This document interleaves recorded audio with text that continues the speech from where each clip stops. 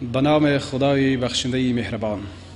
جایگاه شهدا و کسانی که در راه وطن جان فدایی می کنند ستایش مخصوص ذات خدایی که پروردگار جهانیان است همان ذاتی که در قرآن کریم چنین میفرماید.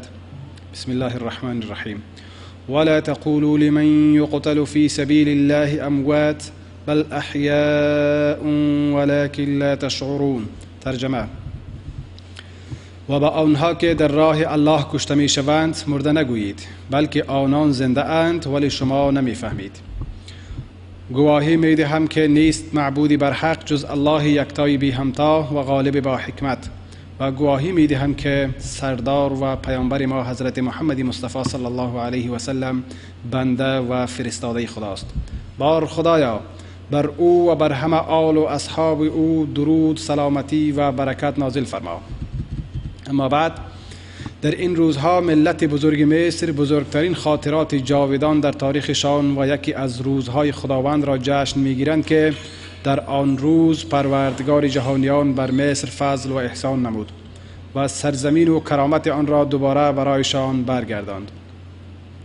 این روز عبارت از روز پیروزی های ششم اکتبر سال 1973 میلادی برابر با دهم رمضان سال 1393 هجری قمری می باشد. این حماسه بزرگ که سرباز مصری در آن عالی ترین مفاهیم قهرمانی فداکاری و جانبازی را به نمایش گذاشت و در آن حقیقت ایمانداری سرباز اصیل مصری و اعتماد او به یاری پروردگار صداقت با نفس و قوت تصمیم و اراده او در تحقیق اهداف و آرمانهایش آشکار گردید. پس وقت اهداف پس وقتی اهداف عالی مقاصد شرافتمندانه و آرمانها نیک بوده باشد باید فداکاری نیز با ارزش و پربها باشد.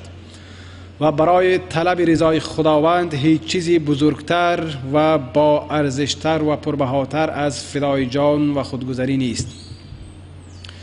پس انسان برای دفاع از دین سرزمین عزت و دفاع از افتخارات وطن خیش روح و جان خود را فدا می کند تا به جایگاه عالی که عبارت از جایگاه شهدا است نایل آید. در واقع جایگاه شهادت عطا و بخشش الهی است که خداوند متعال آن را برای بهترین و محبوبترین بندگان خیش پس از پیامبران و صدیقان عطا می کند طوری که می فرماید ترجمه و کسی که الله و پیامبرش را اطاعت کند روز قیامت همنشین کسانی خواهد بود که الله بر آنان انعام نموده است. از پیامبران و صدیقان و شهدا و صالحان و ایما و اینان چگونه رفیقانی هستند؟ پس بزرگترین پس برگزیدن خداوند متعال انسانی را برای درجه شهادت به معنای رضایت و خوشنودی الله از آن بنده است. و چه درجه دیگر بلندتر از آن است؟ و قرآن کریم با آن چنین اشاره نموده است و یتخذ منکم شهداء ترجمه و از میان شما شاهدانی می‌گیرد. پس شهید کسی است که برای خوشنودی پروردگار و دفاع از میهن خود جان خود را قربانی نموده آخرت را بر دنیا برگزیده است و بر شهوات و خواهشات خیش غالب و پیروز گردیده و برای فدای دین و میهن در دل شدیدترین معرکه ها وارد شده است. پس این جایگاه پس این جایگاه مبارک شهدا باد چون در معاملهشان با فایده نموده اند خداوند متعال می فرماید ترجمه بیگمان الله از مؤمنان جانهایشان و اموالشان را خریده است و بهای این که بهشت برای آنها باشد. و این صورت که در راه الله جنگ می کنند پس می کشند و کشته می شوند این وعده حقی است بر او که در تورات و انجیل و قرآن آمده است. و چه کسی از الله به عهدش وفادارتر است. پس شاد باشید به داد و ستدی که شما با او کرده اید و این همان کامیابی بزرگ است. پس چه داد و ستد شرافتمندی که پاداش آن بهشت برین است؟ و در حدیثی روایت شده که ام ربی دختر براء که مادر حارسه بن سراقه است نزد پیامبر صلی الله علیه و سلم آمد و گفت ای رسول خدا آیا برای برایم درباره حارسه سخن نمی‌گویی؟ و حارسه در غزوه بدر توسط تیر غیبی که پرتاب کننده آن معلوم نبود شهید شده بود.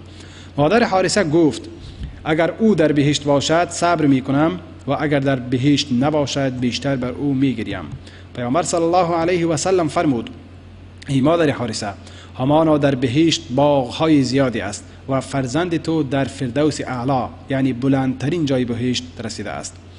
براستی شهید براستی شهید واقعی کسی است که مخلصانه در راه خدا جان خود را فدا نماید و برای اعلای کلمه الله دفاع از سرزمین خود و بلند کردن بیرق آن با جدیت جان فشانی کند.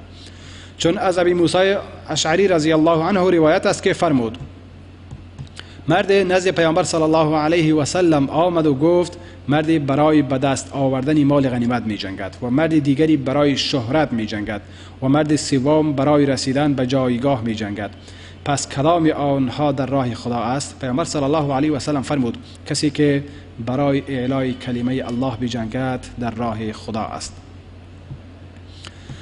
همچنین شهید واقعی کسی است که به هیچ صورت پستی و خاری پستی و خاری خشنود نمی شود و ذلت و حقارت را رد می کند و در برابر هر کسی که بخواهد بر مال و داراییش تجاوز نماید مبارزه می کند از ابی هریره رضی الله عنه روایت است که فرمود مرد نزد رسول خدا صلی الله علیه و سلم آمد و گفت به نظر شما چی کار کنم اگر کسی بخواهد که مال من را به زور بگیرد؟ پیامبر صلی الله علیه و سلم فرمود مالت را به او مده. گفت چی کار کنم اگر او با من بجنگد؟ فرمود با او بجنگ. گفت اگر مرا بکشد چه؟ فرمود پس تو شهید می شوی گفت نظر شما چی است اگر من او را بکشم؟ فرمود پس او در آتش جهنم است. و همچنین شهید واقعی کسی است که از سرزمین عزت و میهن خود دفاع نماید. چون دفاع از وطن و عزت نزد مسلمانان مانند دفاع کردن از جان و دین و مال است. زیرا دین نیازمند سرزمینی است که آن را حمل نماید و از آن دفاع نماید. سعید پسر زید رضی الله عنه می‌گوید پیامبر صلی الله علیه و سلم فرمود کسی که به خاطر دفاع از مال خود کشته شود شهید است و کسی که برای دفاع از اهل و عزت خود کشته شود شهید است و کسی که در حمایت از دین خود کشته شود شهید است. و از همین جاست که مفهوم شهادت با جانفشانی در راه خدا یک جا ذکر شده است. در هر جایی که باید برای اعلای کلمه خدا از دین دفاع شود و برای حفاظت از وطن و رد تجاوز از سرزمین دفاع صورت گیرد. زیرا دوست داشتن وطن جزء ایمان است. پس مبارک است برای شهدای حماسه, جاویدان عبور. همان کسانی که با خون مقدسشان سرزمین پاک مصر را آبیاری نمودند. در حال ارواحشان به سوی الله جل جلاله بلند رفت که خوشنودی خداوند و نعمتهایی که الله تعالی برایشان وعده نموده بود را به دست آوردند و از خداوند متعال می خواهیم تا ما را نیز از جمله شهدا بگرداند. و شهادت در راه خداوند متعال فواید بزرگی دارد برخی آن.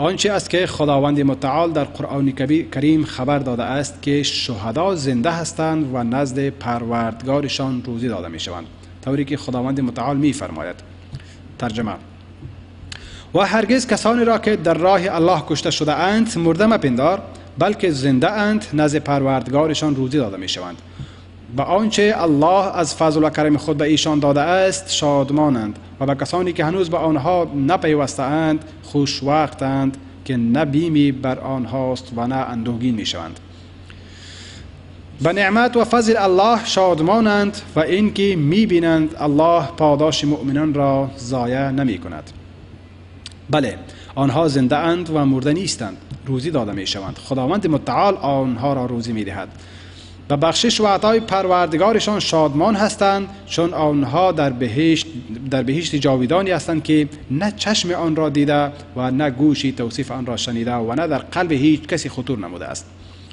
و برادران بعد از خودشان و برادران بعد از خودشان را مژده می‌دهند که نه خوفی داشته باشند و نه غمگین شوند بلکه به فضل و نعمت نعمتهای پروردگارشان باید شادمان باشند.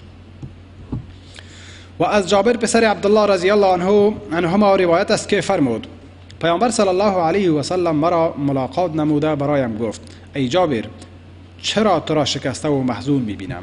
گفتم ای رسول خدا پدرم شهید شد و فرزندان و قرض زیادی به جا گذاشته است. فرمود آیا به آنچه که خداوند با پدرت ملاقات نموده تو را مژده ندهم؟ گفت بله ای رسول خدا مجده ام بده. فرمود خداوند همه را از پشت پرده صحبت می کند اما پدر تو را زنده نمود و همراهش بدون پرده و بدون واسطه صحبت کرد و فرمود ای بنده من هرچی از من بخواهی برایت می دهم گفت ای پروردگارم مرا زنده کن تا دوباره در راه تو شهید شوم. خداوند جل جلاله گفت در سابق از من چنین حکم شده که بندگانم دوباره به سوی زندگی و دنیا برگردانده نمی شوند فرمود و این آیت, آیت نازل شد. ولا تحسبن الذين قتلوا في سبيل الله امواتا و هرگز کسانی که کسانی را که در راه الله کشته شده اند مرده مپندار و برخ دیگری از فواید شهادت و جایگاه شهدا. همان شهید نزد پروردگارش دارای شش خصلت می باشد. حدیث مقدام پسر معدی کرب رضی الله عنه این خصلت ها را بیان نمود. چنانچه گفت پیامبر صلی الله علیه و سلم فرمود شهید نزد خداوند متعال دارای شش خصلت می باشد.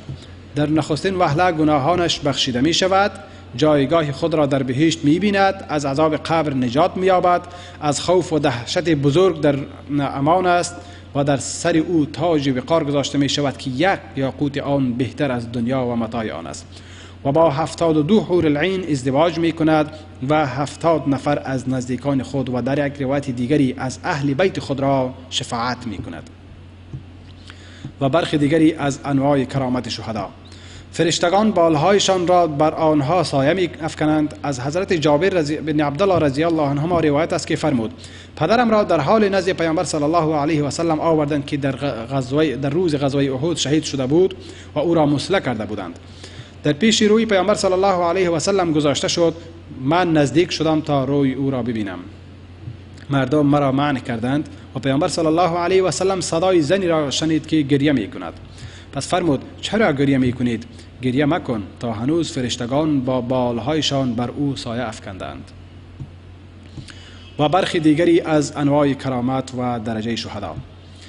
همانا شهید در نخست و در نخستین وهله بدون حساب و مجازات وارد بهشت می شود حضرت عبدالله بسن عمرو بن العاص رضی الله عنهما می گوید از پیامبر صلی الله علیه و سلم شنیدم که فرمود در روز قیامت خداوند متعال بهشت را نزد خود می خواهد پس با تمام زخرف و زیبایی خود حاضر می شود پس خداوند متعال می گوید کجا هست بندگانم که در راه من جنگ کردند؟ در راه من کشته شدند و در راه من اذیت شدند و در راه من جهاد کردند و بهشت وارد شوند پس همه بدون حساب و مجازات وارد بهشت می گردند پس فرشتگان می آیند و می گویند پروردگار ما ما در شب و روز بیشتر از آنهایی که بر ما ترجیح داده اید تو را تسبیح می گوییم و تقدیس می نماییم پس الله جل جلاله می فرماید آنها کسانی اند که در راه من جنگیدند و در راه من اذیت شدند پس از پس از هر دروازه فرشتگان بر آنها وارد می شوند و می گویند سلام بر شما به خاطر آنچه صبر نموده اید پس چه خوب است عاقبت آن سرای جاویدان. و برخی دیگر آن براسته برای شهدا در بهشت برین و زیباترین خانه هاست. سمره بن جندب رضی الله عنه می گوید پیامبر صلی الله علیه و سلم فرمود دو مرد را دیدم که نزد من آمدند و با من بر درختی بالا شدند. پس مرا در خانه داخل کردند که هیچ چشمی به زیبایی آن خانه را ندیده بود و به من گفتند این خانه شهدا است. و بنا بر همه آنچه که گذشت شهید یگانه کسی است که دوست دارد و دوباره به دنیا برگردد. و بار دوم در راه خدا شهید شود. چنانچه در حدیث حضرت انس رضی الله عنه وارد شده که پیامبر صلی الله علیه و سلم فرمود هیچ کسی وقتی وارد بهشت می شود دوست ندارد دوباره به دنیا و متاع دنیا برگردد مگر شهید که او دوست دارد به دنیا برگردد و ده بار در راه خدا شهید شود. زیرا چنین کرامت را می بیند و در روایت دیگری زیرا فضیلت و برتری شهادت را می بیند ستایش مخصوص ذات خدای که پروردگار جهانیان است. گواهی می دهم که نیست معبودی بر حق جز الله یکتای بی همتا. و گواهی می دهم که سردار و پیامبر ما حضرت محمد صلی الله علیه و سلم بنده و فرستاده خداست بار خدایا بر او و بر همه آل و اصحاب او درود و رحمت و سلامتی نازل فرما. برادران مسلمان همانا برای رسیدن به اهداف بزرگ و دستیابی به غایات عالی در این دنیا مستلزم فداکاری ها و جانفشانی های بزرگ است. بدون تردید برتریت اهداف و شرافتمندی مقاصد و رسیدن به اهداف عالی نیازمند فداکاری عالی و شرافتمندانه می باشد این حالت همه کسانی است که برای دفاع از دین و وطن خود فداکاری نموده است. بیگمان واجب و مستلزم ما در قبال وطن عزیز و دین مقدس ما این است که باید همه با هم و در کنار هم برای حمایت و دفاع از امنیت آن تلاش کنیم و هر گونه تجاوز و خطری را از آن رفع و دفع نماییم که سلامت آن را تهدید می کنماید و همه ما باید برای حمایت آن چشمان بیدار بوده باشیم و برای بازداشتن هر کسی که بر وطن ما جرأت می کند هر یک ما به قدر توان و در حدود مسئولیت خود با هم تلاش نماییم و زحمت بکشیم. پس خوشا به حال سربازان قهرمان ما که بر اسمان خدا چنگ زدند و به آنچه که برای الله وعده نمودند وفا کردند و با تصمیم قوی و یقین ثابت و یقین ثابت و مستحکم توانستند کشور عزیز ما را به ساحل نجات و آبادانی برسانند و درود بر نیروهای مسلح شجاع ما و در روز پیروزی شکوهمندشان. و بر ما مسئولیت دیگری است که باید آن را انجام بدهیم و آن عبارت از رسیدن به صحنه توسعه پیشرفت کار و تولید می باشد تا به همه جهانیان ثابت نماییم کسانی که از خط مستحکمی بارلیف گذشتند و همه موانی آتشین را در این روز مبارک شکستند فرزندان و نوادگان آنها به کمک خداوند می توانند همه مشکلات و موانی فراراه امنیت آرامش توسعه و پیشرفتشان را بشکنند. و باید همه ما در یک صف در پشت سر, سر رهبران سیاسی خیرتمند قوای قهرمان مسلحه پلیس ملی و همه نهادهای ملی و دولتی خود استاد شویم. بار خدایا مصر و ملت آن را حفظ نما و نعمت صلح و امنیت را بر آن دائمی بگردان و برای ما سخاوت سعادت و توسعه رزق را روزی کن.